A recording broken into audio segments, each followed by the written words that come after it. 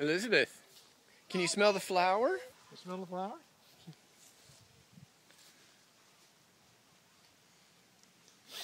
mm. mm.